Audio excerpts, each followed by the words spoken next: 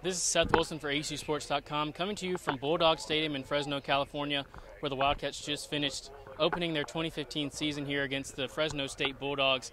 A tough one tonight for the Wildcats as the Bulldogs are a tough, proven FBS program, and they showed that tonight with a balanced offense of over 200 yards rushing and passing.